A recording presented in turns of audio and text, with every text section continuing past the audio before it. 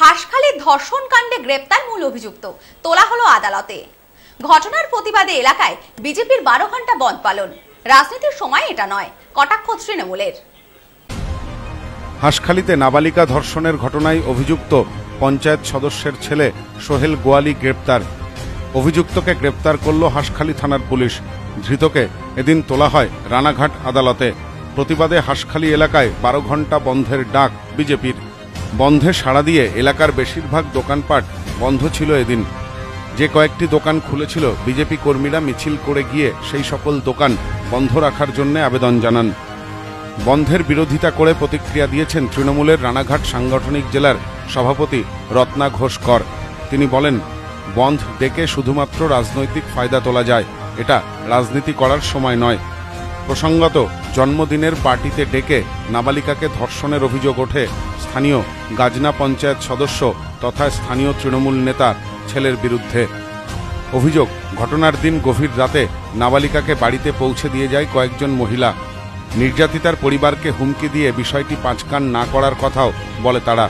চারটের সময় গিয়েছিল একটা ছেলের জন্মদিন ছিল ওইখানটায় গিয়েছিল। আচ্ছা। তারপরে তিনজনে এসে বাড়িতে দিয়ে বলেছিল কাউকে কিছু বলবা না তাহলে বাড়ি ঘর জ্বালিয়ে দেবে পুরো অজ্ঞান মানে নেশা আচ্ছা। করিয়েছিল খুব। সেদিন সারা রাত ওর মা কিছু বলেনি। আচ্ছা। সকালবেলা তারপরে মারা গেছে। আচ্ছা। তারপর তাই শুনে গেলাম কিছু কি আমাদের কাছে মুখ খুলে নেই। তারপরে এই যে লোক আসছিল ওই যে মহিলা সমিতির দত্তগুলো ওরা এসে একটু চাপ দিল তারপরে নির্যাতিতার পরিবারের দাবি, অতিরিক্ত রক্তক্ষরণের ফলে রাতভর যন্ত্রণায় ছটফট করতে থাকে নাবালিকা। ভোর রাতে স্থানীয় গ্রাম্য চিকিৎসকের কাছে ওষুধ আনতে যান পরিবারের সদস্যেরা। ওষুধ নিয়ে বাড়িতে ফিরে দেখেন মেয়ের মৃত্যু হয়েছে। ঘটনায় চাঞ্চল্যকর অভিযোগ, নির্যাতিতার মৃত্যুর পর পোস্টমর্টেম না করিয়ে বাড়ির পাশেই একটি শ্মশানে শেষকৃত্য সম্পন্ন করা হয় নাবালিকার।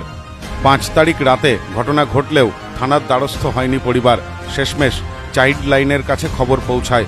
চাইল্ড লাইনের সহযোগিতায় শনিবার অভিযোগ দায়ের হয় হাঁসখালি থানাতে।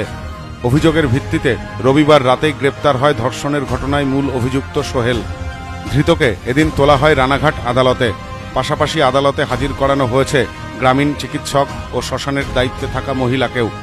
নাবালিকার ওপর নির্যাতনের প্রতিবাদে সোমবার বারো ঘণ্টা বন্ধের ডাক দেয় বিজেপি। এদিন সকালে এলাকায় বিজেপি কর্মী সমর্থকেরা মিছিলও করেন। এ বিষয়ে স্থানীয় বিজেপি নেতা বলেন, আজকে নিমন্ত্রিত অতিথিদের বাড়িতে গিয়ে যেভাবে তাকে ধর্ষণ করা হলো গণধর্ষণের মাধ্যমে, চিকিৎসা করতে পর্যন্ত দিল না। আমাদের মনে হয় চিকিৎসা যদি করতে দিত, সেই মেয়েটার যা রেজিস্ট্রেশন পাওয়ার ছিল, তাতে সে বেঁচে যেত। আজকে সারাদিন আমরা বারো ঘণ্টা সকাল ছটার থেকে সন্ধ্যা ছটা পর্যন্ত হাঁসখালি ব্লকে বন ডেকেছি। বন সর্বাত্মকভাবে সমর্থন জানিয়েছে মানুষ। বন্ধের বিরোধিতা করে এদিন নাবালিকার পরিবারের সাথে থানায় দেখা করেন স্থানীয় তৃণমূল নেত্রী তথা তৃণমূলের রানাঘাট জেলার সাংগঠনিক সভাপতি রত্না ঘোষকর তিনি বলেন, দোষীর কোনো রাজনৈতিক রং হয় না। আমরা আগেও বলেছি, এখনও বলব।